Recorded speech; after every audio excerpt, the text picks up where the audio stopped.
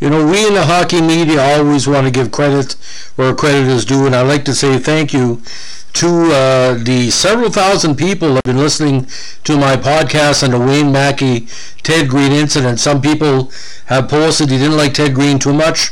Others that basically said uh, Green have deserved it. It's not for me to say. I was only six years old when the incident occurred. It was a preseason game. Teddy Green was a rough player. There wasn't really any feuding uh, going on between Maki and Green before the incident.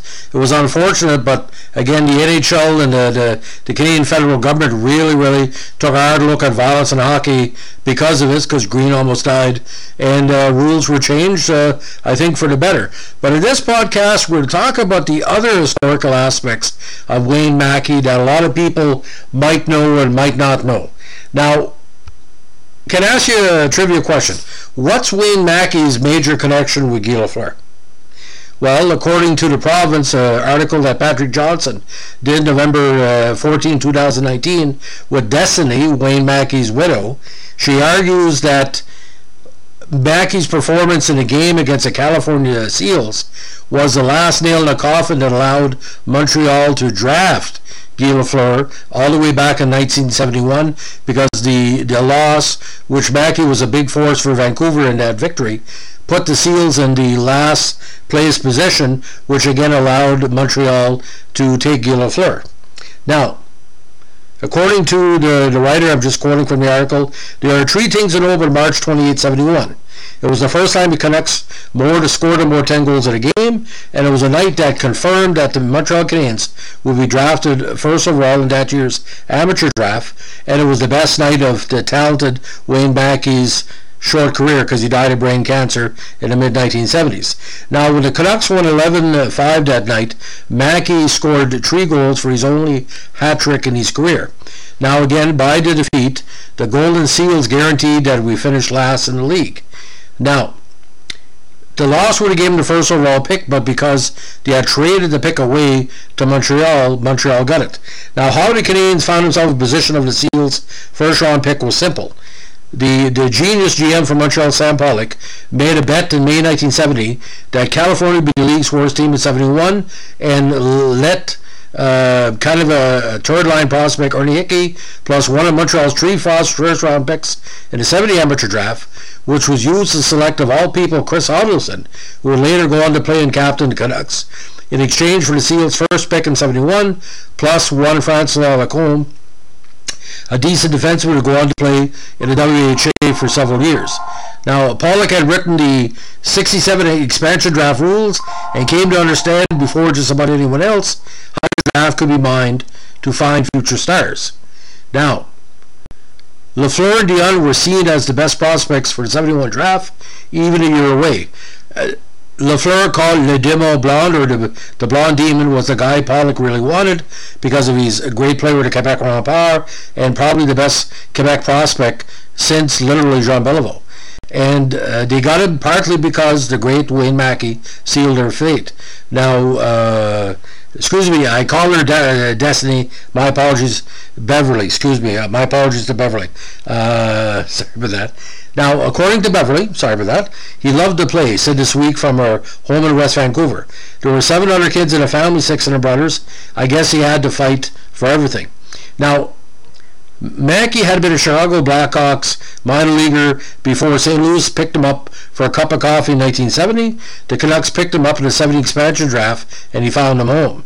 Now, at uh, one point, he played on the Canucks' first line alongside Orland Kurtenbach and Murray Hall, tallying, tallying 33, 63 points in 78 games. Now, his older brother, the talented Chico Maki, played for Blackhawks for years, said he, his brother was a good skater with a hell of a shot. He wasn't afraid to take on the big guys. He fought them like uh, not like some guys. Now, great uh, the great Canucks uh, broadcaster Jim Robson recalled he had guts. Unfortunately, sometimes you're always remembered for only one thing. Now, while with St. Louis the season before, again, Maki got involved in a preseason six-swinging incident where Bruins tough guy Ted Green that sent Green to the hospital with fractured skull.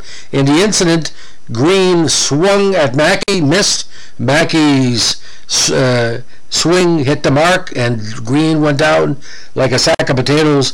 And uh, you know, I guess the incident There's no video, but he was, I guess, convulsing on the ice. Now, Green would miss the entire 1970 season, but returned in time to face Maki and his new team the next year. Now, Robson said Ted Green was a rough player, but he would spear guys and he had speared Maki. Maki swung his stick back to defend himself. Now, a lot of people have posted on uh, my podcast about that. I'm not one to see, see say it because I didn't see much of Ted Green play, but for what I heard, and there was some person also said that Bobby Orr took a swing at Maki at that incident as well. Now, if Bobby Orr would have connected, that would have been beyond to beyond because Bobby Orr was known to be dirty at the time. He was sort of the virgin back then, not like the Trump supporter that uh, what he called the lost Boston Bruin of 2021. Now, Again, both player, both Green were charged with assault, but both were acquitted and both were suspended by the league. Now, Robson said the first time we went into Boston, man, did he run him hard. He really ran him hard. Unfortunately, the, they remember him for that. Now, Matthew had dealt with health problems since he was a kid, but the sudden diagnosis of a brain tumor, his final season of 73 with the Canucks at age 28, still came as a shock. Now he was stricken with debilitating headaches. He was sent home for a mid-season road trip. Doctors in Vancouver discovered a cancerous growth, gave him six months to live, and quickly operated to remove the tumor. He uh, fought back and lived for another 17 months. Beverly said uh, in the article, even though he was sick and dying, he just he just uh, loved life. He loved the golf. He loved his family. He loved his neighbors. Now, after he passed away, Beverly and her two kids, Stephanie and Wayne Jr., started receiving all kinds of gifts and letters from fans. The Canucks alumni helped out in the years that followed, both with funds for Stephanie and Wayne's education, and Stephanie went on to be a school teacher, Wayne a chef and helped in removing, uh, renovating uh, her house. Now, uh, his number his number was retired by Vancouver was brought back with permission when Mark Messier uh, started playing with Vancouver. Now, according to Beverly, two gifts from the fans stands out: portraits of Wayne in his Canucks uniform, one crocheted, the other in needlepoint.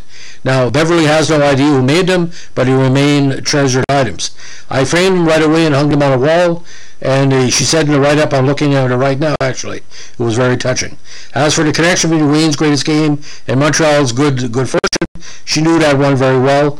I do think it was destiny, she said. It's karma. Sorry about saying she was called destiny, but uh, I apologize.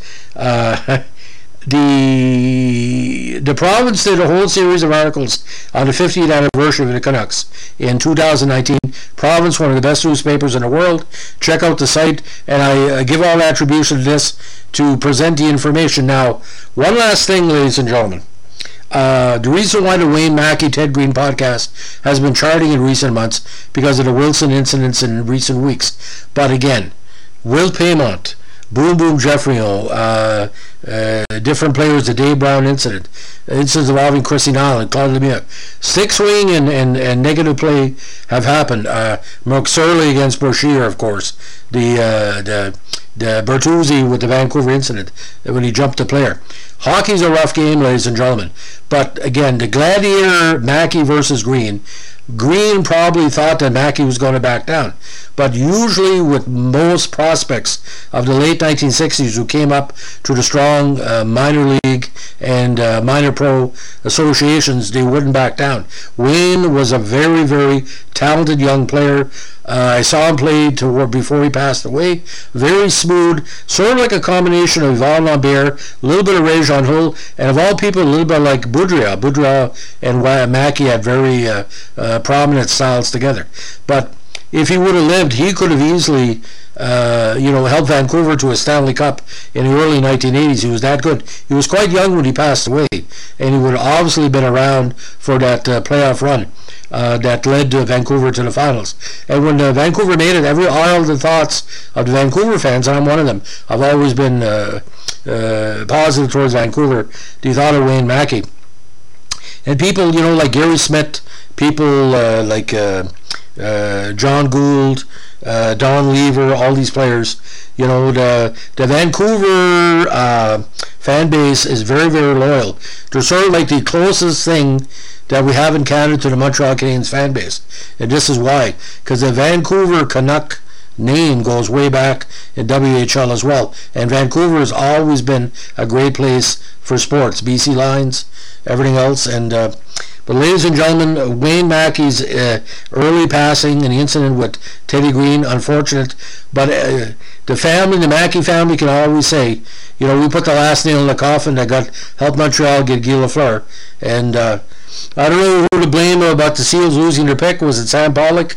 I mean, no offense to Mr. Hicke, but you could have got anybody else because Montreal had a lot of draft players. They had they could have got Gerry Desjardins, my old nemesis that I've talked about before. Anyway, ladies and gentlemen, if you like what we're doing our Vintage NHL podcast, let us know. Give us a like, comment, subscribe. I love the comments on the Wayne Maki Ted Green incident. Keep them coming because a shared history is a history remembered, as we like to say. Have a good evening. Bye.